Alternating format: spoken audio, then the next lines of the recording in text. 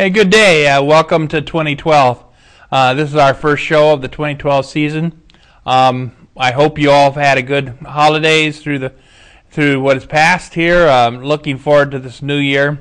Uh, here we are in January, and um, there's going to be a lot of uh, I think wonderful things happen in Lebanon, uh, in West Lebanon this year. Um, we're looking forward it, uh, to it on behalf of the Lebanon city government. Um, remember, we are going to be focusing on outcomes, and you'll see this little chart as we go along. Uh, the little little chart we we'll show it in larger print at some point. Um, but basically, it's public safety, excellent training, economic vitality, self-sufficient individuals and families, physical responsibility, restraint, prudent, long-term stewardship of resources. We want a sustainable community here in Lebanon. Uh, we want a sense of place we want environmental responsibility here. We want energy efficiency. We want to be healthy and well, and we, ha- we want to have a cultural and learning center. Today, um, as the first show, we have a very important topic for you, uh, and that is franchise. Um, as some of you may have followed the issue of franchise in Lebanon, it goes back a ways, but it's coming uh, into some very important steps that we have initiated um, as part of our excellent planning and as part of our activities to have economic vitality, uh, as well as to keep us financially uh, good stewards on behalf of the residents of Lebanon. Um, this goes back a ways, but we'll pull up front right uh, at the initial part of our program. I, I want to make sure everyone here knows that in February there's an important event uh, for franchises. On Wednesday, February 15th, 2012, beginning at 7 p.m. in the council chambers at City Hall, there's going to be a public hearing. Now, this public hearing is a part of the cable TV franchise negotiations between the City of Lebanon and the Comcast Cable Services, which is currently providing cable television services here in Lebanon. Uh, the city will hold that public hearing. Uh, we want to ascertain the future uh, cable related needs and interests of the community uh, we want the members of the public to be uh, inter- to come. We want representatives of local businesses. We want or- representatives of organizations. We're inviting them and encouraging everyone to come and to attend and provide information about what you think your future cable related needs and interests are. Now, if you cannot attend the, the hearing, the hearing will remain open until Friday, March 16th at 2012, and written comments can be submitted until that date. Um, the record that's established by this hearing is important because it's during this process that the formation will take place as the basis for our city negotiation with Comcast. We want uh, a high quality new cable franchise agreement with with uh, Comcast.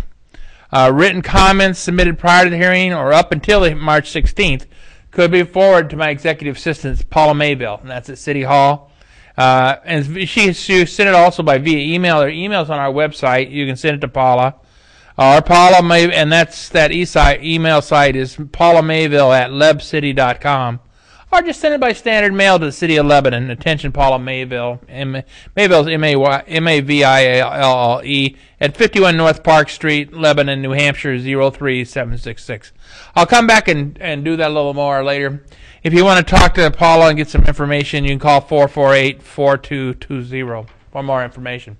I'll come back and do that, but how did we get to the point of having a public hearing?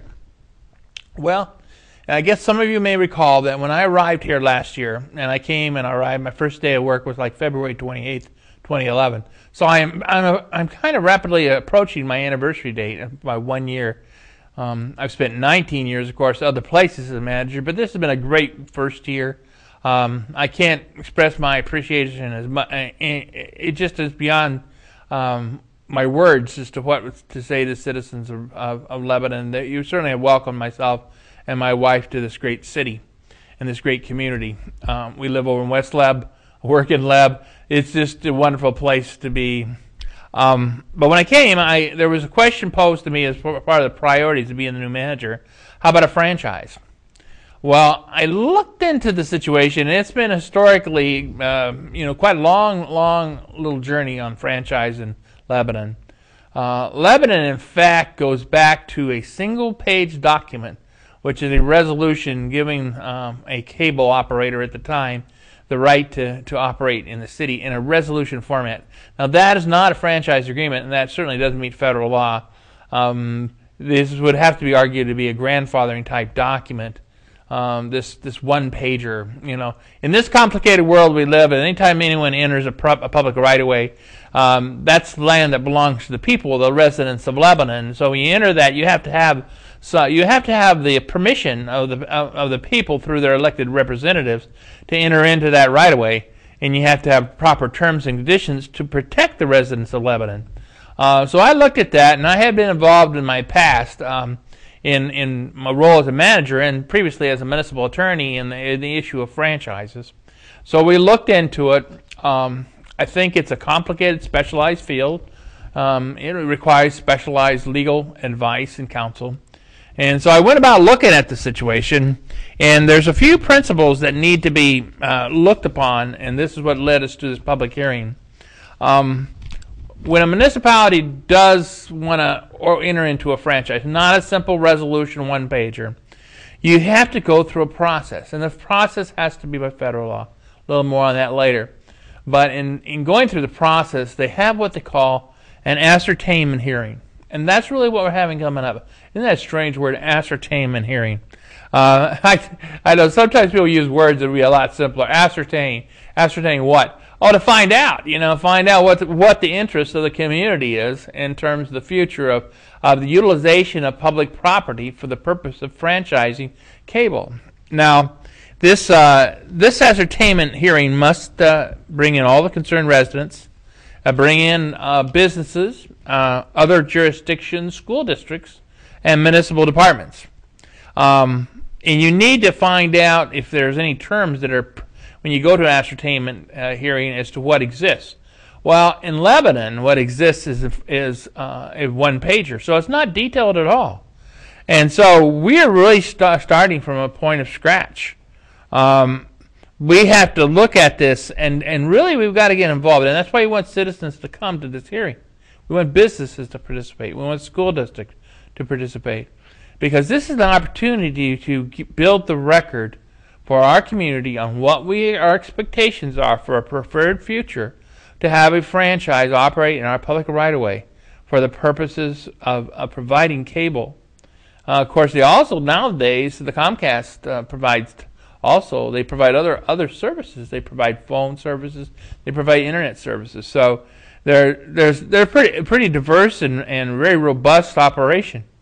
So this is very complicated and, and it's important to get involved citizen engagement of this is essential. The ascertainment hearing has to be held because this agreement, the ascertainment hearing, will bring out the record which will become the basis for the agreement we're going to negotiate with Comcast.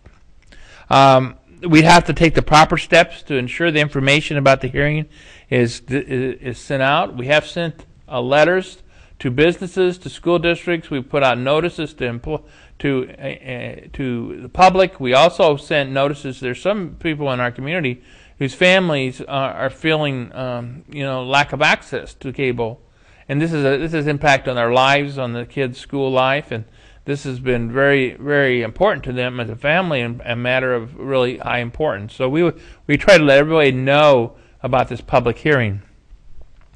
Once we receive the responses at the ascertainment hearing, these will become responses that we will analyze and build a base to work with the Comcast and that will provide an analysis of, of what is needed here to make this the best uh, high quality uh, franchise agreement we can. We'll work with with franch- with Comcast. Uh, it will be a, a, very civil and very professional negotiation process. We have legal counsel uh, who are skilled uh, specialists in the area of franchise law. Our legal counsel, uh, in fact, has negotiated 70, uh, 70 type of 70 franchises with Comcast. So I felt it's imperative that we have somebody that comes in and works with us that has a lot of experience. And that's kind, that's exactly what we did when I and when I approached the council last year. Um, first, there was needed to to build some history and to share with you a little bit about the history of this situation. Is first the fundamentals of a franchise. Uh, the fundamentals of franchise is governed by what is called Section 626 of the Federal Cable Act. uh, broadly speaking, the franchise authority the city has to determine whether granting a franchise uh, re- is uh, is related properly to the future cable-related community needs and interests of the municipality. And we need to review the present performance of the cable operator under any existing franchise agreements. Well, we only have a one-page resolution, so there's not much standards by which to weigh this. But I think in terms of the fact basis, through the testimony of as citizens and businesses in our community and schools in our community, you can let us know about what you think about the performance of Comcast in our community. Uh, more specifically, the franchise authority must evaluate the in doing a franchise with with regard to the following factors. Now, these factors, um, I think, are are the critical four, and and the critical four factors are whether the cable operator has substantially complied with the material terms of any existing franchise and with applicable law. Well, since we only have a one-page resolution, there's not much in terms of a, an existing franchise. In fact, it's very inadequate. So we have to make sure under this standard that the, that the operator, in this case Comcast, has complied with the applicable law, and that's the federal law and case law under the federal law with regard to their operations. The second factor that's very important is whether the quality of the operator's services, including the signal quality, the response to consumer complaints, and billing practices, disregarding the mix of, uh, of the services, at the that that quality or that level of the cable services are adequate, and that the services are adequate to provide provided over the system, and that they've been reasonable in light of community needs. Basically, we want to make sure the quality of the service is adequate to the community needs. That was the second factor. The third factor is whether the cable operator has financial, legal, and technical ability to provide the services, facilities, and equipment set forth in the operator's proposal. Well, in this case, it's the current operation of Comcast, and, and they've been quite robust, as you see uh, the operation of Comcast. They they um, are quite um, very complex and sophisticated providers of service. They have certainly appear to have financial, legal, and uh, ability to meet the needs of the community in terms of technical needs. Uh, but there are areas that uh, citizens need to comment on, businesses need to comment on, and schools need to comment on as to whether they're going to meet all the needs of the community now and, and as a preferred future. Because these these franchises are, are are multiple year franchises, so they're not a short a short duration; they're a longer duration, and as part of the negotiation. The length of that duration of that of that franchise wouldn't surprise franchises to have ten year franchises. So this is uh, you know a point in time where it's very significant that you, you we must get your uh, input and your understandings, uh, and and we must build a record for you as the residents of Lebanon, any businesses in Lebanon, any schools in Lebanon must uh, help us build this record. Um, finally, we must understand whether the operator's proposal, their present operation, and what they propose in the future. And you may get correspondence from Comcast from occasionally, and I, I think most of us do, showing where they're updating or upgrading. But we want to make sure that their services that they propose for our community is reasonable to meet the future cable related community needs and interests of Lebanon, taking into account the costs of meeting those services and interests. Um, now, so that that's the four factors. So we have to keep those in mind. You know, basically, we're really clear on what the factors are. They must comply with the law, and if once we have a franchise in effect, they must comply with it. Uh, they must have good quality. Uh, they must have financial, legal, and technical abilities, and they must have a have a, a, proposal for their operation now and in the future here that's reasonable and that meets the community needs, and that's you residents, that needs that you have. Now, how we get to the franchise, there's a formal way and there's an informal way. Well, because of the nature of the city's uh, one-page resolution, uh, we have to go. The formal way would mean if someone already had a formal franchise agreement, we'd go through a set formal process to review that agreement with certain notice requirements. Well, because of, of this uh, limitation that, that Lebanon has in the one pager, we really have to go through the informal method, which is the informal method is uh, contains most and on pretty much the equivalent components of the formal, but but there's less structure in terms of some of the procedures and notices. There's two requirements for it. Um, they the the Comcast and our operator must uh, provide us with what they set out as what their franchise should be, and they should become begin an informal process with us. Um, the second thing is that the franchising authority, authority that's the city of, Lebanon, that's sometimes that's called the franchise authority. The city of Lebanon must afford the public, that is you, residents of Lebanon, adequate notice and an opportunity to comment before granting or denying the franchise that we're going to be considering here. Now, when we first started back there in the, the summer, after the spring I reviewed this whole matter, um, there was some question, well, will we have to, how will Comcast feel about entering into our discussions and dialogues through this informal process? And whether they would feel comfortable in pursuing that, that process with us. And the answer is yes. Um, the professionally, our attorney has communicated with their key um, players. Uh, I'm going to be working with the, the Comcast key players. Um, they are communicating very civilly and very professionally, and though that communication door is open, and now we have to hear from the public uh, through our, our public hearing, our ascertainment hearing, to ascertain from you, to find out from you uh, about these things that we need to know, so that when we talk with Comcast, that we really have a record that says what you want, so that we bring it to the table uh, to to share that record that you want uh, from from Comcast, and we'll have this great dialogue with Comcast in this this negotiation process through this informal process. Um, a lot of this is going to involve a lot of good analysis of the franchise agreement. That's why we have a real professional uh, with the, the attorney we we have, uh, Rob Sandello, and um, he's who has done, like I said earlier, 70 uh, franchise agreements with Comcast. Um, They'll be working with me and with our other our, our city leadership and with the, the council to make sure this happens in an appropriate way. Um, there'll have to be these presentations that we're going to be giving at the hearings. Um, there'll have to be an evaluation of what what the contrasting uh, proposals might be. Um, we'll have it. We have a schedule developed now that's going to follow a certain very set pattern uh, to follow through and complete the franchise. Um, in the in the specific uh, ascertainment program that we were talking about, we want to have uh, individual interested people, uh, interested stakeholders, schools, businesses, and we also want the general public to be very interested. Uh, we want to make sure we have a proper uh, look at surveying and understanding the community input. Uh, facilitating this process is what we're, we're all about right now. Um, we hope to have a very good proposal an excellent quality franchise proposal. Um, the agenda that we're working on is is in the is been you know kind of laid out there. Uh, we're beginning it with this uh, upcoming February 15th public hearing.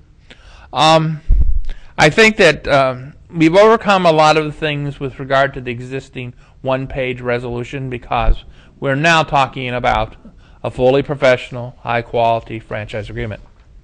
Um, in our meetings with our attorneys, he's given us some good insight into what franchises are about. And, and we've had work topics about franchises, and, and just to share with you, because you need to start thinking about this yourself for giving us input as members of the public, or if you're a business person, or if you're a member of the school system or a college system. Um, we want to make sure about Comcast compliance with the franchise and applicable law, uh, the quality of the Comcast service, Comcast's financial, legal, and technical ability to provide the services and support the infrastructure, and Comcast's capabilities and costs of meeting the future cable-related community needs in our community. Um, of course, as I said before, this whole process is going to involve analysis, evaluation, education, training, the ascertainment process I've talked about, and direct negotiations. There's a revenue aspect into it, and that's the franchise fee. But the essential thing about franchise is that your your inner is that Comcast, as any uh, cable operator would be entering into the public right of way, that they have to have uh, that right to come into the right of way approved through our the proper elected democratic uh, leaders, in this case our city council.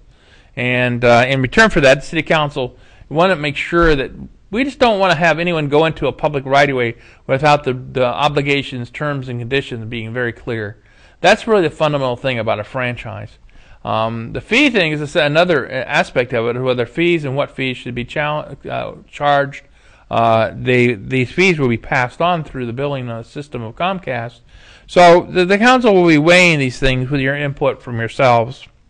Um, using the right of way by, by Comcast, there's going to have to be conditions on it.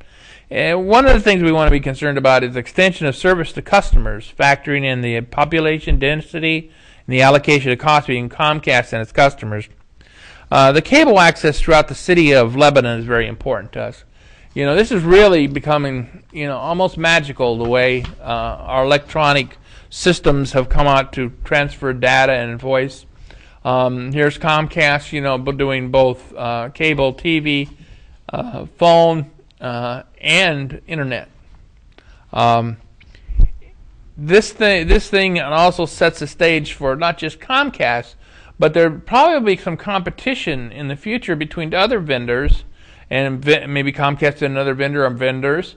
And so what we're doing is trying to create a standard here in, in Lebanon through your engagement as citizens participating. We want to have a standard by which uh, all all parties in the future come into Lebanon and go into the right of way for these types of services of t- cable TV, phone, and uh, with regards to, to internet, that broadband, these are things that we want to make sure there's good standards.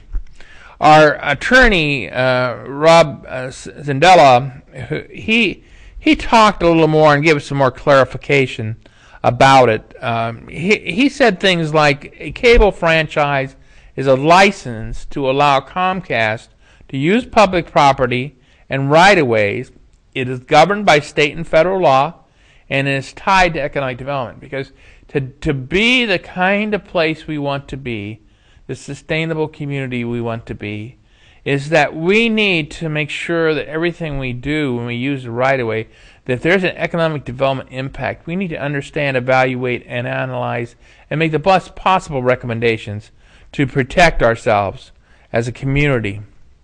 Um, in terms of, uh, of what it might be in terms of uh, the kind of single revenue stream from video for video programming, there's really a whole bunch of different things going on there with the services I mentioned earlier about um, the, the, the they're regulated in a variety of ways. The, the video streaming, the cable TV is is controlled by the city through the franchise agreement under this franchise approach.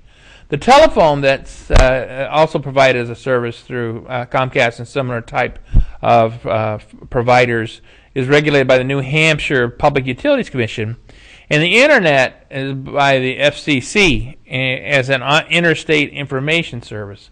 So there, this whole thing of, of the service is a bit complicated, but if you don't have a franchise as part of it, you're missing a piece of what would be pro, kind of appropriate community-based uh, public um, interest type of, uh, of control the right of way. And so, therefore, a franchise is really essential. Um, he, he talked about the first task was to get Comcast to the table, which he Rob has now achieved. Uh, we had some discussions about the legalities, agreements, etc., in our previous conversations with him. Um, I think that, that that he Rob is a very practical attorney and worked with the council, and they're, they are requiring some good accountability that we go through these stages by stages. We reached, we went through the first stage, established our relationship, and working with Comcast in a civil and professional manner. That's been done. Now we're going to the next stage of the ascertainment hearing, and that's being done. So each stage, we're kind of monitoring the costs involved for legal counsel and what we're trying to achieve. And that's all going to be accountable through um, myself as city manager and to the council and as they provide the policy oversight in such approach. Um, looking at it uh, about what this is all about, eh, he, I think that the, the attorney described it well uh, in terms of why why we're doing this. Um, he said it, and uh, Rob, our attorney, said it. It's that someone is using the city property. Someone is using the city property. And the city has the right to license that use. So that makes sense. You know, you wouldn't want someone to use city property and not to license that use. Because that property, everything that we base our, our operation on in terms of outcomes, is the outcomes must serve the public. So any outcome that we engage in that concretely happens on the ground must be something in, in furtherance of the public interest. So, so therefore, you, you we won't have a license if you're going to use city property. In um, terms of, of where we're going to go, uh, I think we want to be fair. We're going to be fair with Comcast. Um, we're going to, but we're going to be very protective and accountable to the public for the operation of cable in our system. Uh, questions that we have, we we've sent out letters to various businesses. We sent it to the school district. We sent it to individuals. Uh, we're asking you to get engaged in the work with regard to a cable TV franchise agreement here with Comcast. Uh, remember that hearing is on February 15th, and it's 7 o'clock. It's a great time to find out what our future needs are. We have sent specific questions to persons and to businesses and to school districts. And these specific questions are if do you have a plan about the technology? Uh, how does it fit in whether you're a business? What's in your business plan? A school district, how does it fit in your school district to have cable access TV here? Um, how's it going to fit you as an individual? What are your needs for that cable? What do you think should be the best thing you could have for your cable TV? Um, and in those plans, how could you utilize the cable system? Is there some businesses, is there anyone out there that has some new plans for how to utilize cable TV to help deliver your services? Um, uh, our fine partners here at CATV are using a great many of the, the cable aspects here to do some wonderful work in learning and education, and we have interns here working for for our great partner CATV. Um, this is all part of a learning experience, but this is also providing help help people learn job skills, help people learn skills that'll help them improve the competencies they need in life anymore with with the use of cable. Um, so this is a chance. If you have plans, please share them. Please get involved. Come to the public hearing and say, "Here's our plans we might have. Here's what we would like to do." Um, is there any any any information, data that you're, you want to be shared through a cable uh, cable television system? Uh, if you're planning to distribute data through you, I think this might be an option for you in your business, in your in your personal goals, or in your schools, goals of your schools. Let us know. Um, is there any plans for some virtual type of activity where using the cable system is there? You know, think of all the things our our cable access television does. Are, are these things you, that you think we should really really be supportive of? New things on the horizon. Um, this high-speed internet. It's amazing how fast you can move data and voice across this high-speed system. Uh, is there anything in your plans that would say that you would like us to convey to Comcast about what they should be providing us, you, and us being the citizens of, of, of Lebanon and West Lebanon? Um, do do you ha- think there are some other educational things that could be done for students, for parents uh, using the cable TV system? Um, would you be interested in exploring more uh, more possibilities in our region for for local access on our television networks? Um, this is a very important thing. It's being placed into the internal systems of our of our community. Um, this, is, this is a tool that we have to grasp. There are a number of different approaches in the broadband area. Uh, cable access television is one of the really important things we're considering. Um, I think this is a time to get involved, to get engaged. It follows through on the city's commitment to be really an outcome-based uh, community, an outcome-based city government. Um, this outcome of uh, is that by the end of the year we want to be in a good position to come forward with a proposed franchise agreement. There will be a public hearing on the eventual agreement, so there will be still time. But you know, there's the old saying about those who show up are, are those that really get, are able to have their um, their information, their influence. Get a chance to influence what's going on around you. Sometimes we, we don't want to be uh, feeling in our community of, of, of lack of power. We want to empower, enable everyone to get involved. So I look forward uh, to seeing you all on the February 15th public hearing at 7 o'clock. Uh, it'll be in City Hall, so, so please do attend. And if you can't attend, provide us some written testimony and just send it to, to City Hall, to the City Manager's office. Uh, and you look at that website, and remember, always use our website. Our, we have a grand website. Uh, and the more you use um, our, our, our lebcity.com website, the better off we're all going to be. And uh, this is going to be a great year. It's a good way to talk, start it out positive about people engaged, about new technologies, uh, about uh, doing things in the public interest, and do it locally, and do it based on outcome uh, outcomes that that are, that are meaningful in your lives and provide you value.